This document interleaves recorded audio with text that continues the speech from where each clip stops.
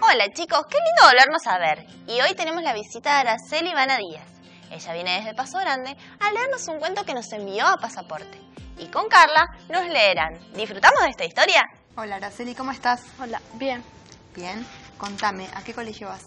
Sexto, Domingo Faustino Sarmiento. Ajá. Y decime, ¿este cuento lo inventaste vos? Sí, ¿Y por qué se te ocurrió?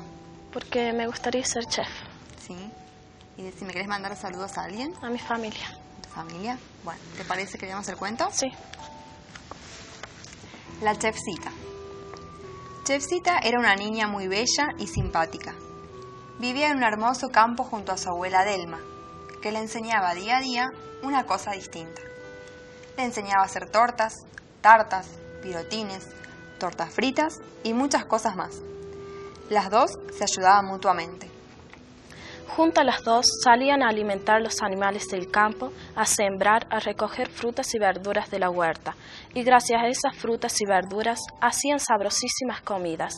Pero un día Chefcita regresaba de la escuela y vio que su casa se había llenado de autos, de enfermeras y de doctores.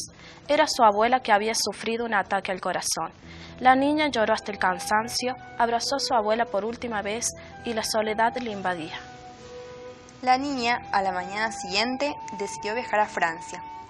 Su abuela en vida le había dicho que si le llegaba a suceder algo, que de inmediato viajara a Francia y buscara a Pipino. Él era el chef más famoso de toda Francia.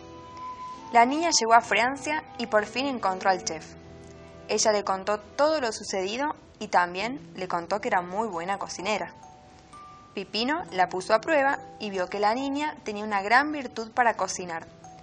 La llevó por todo el mundo y ella cumplió su sueño de ser una gran chef. Y colorín colorado, Este cuento se ha terminado. reindo tu cuento y Gracias. espero que vengas la próxima a contarnos otro. ¡Qué linda historia, Ara! Me encantó. Ahora la chefcita podrá cocinar todo lo que le guste y podrá viajar por todo el mundo. ¿A cuánto nos gustaría eso? Muchas gracias por escribirnos. Chicos, solo tienen que enviar sus relatos a crear tu propia historia y así podrán visitarnos y leerlos junto a nosotros. Ahora nos despedimos. ¡Chao!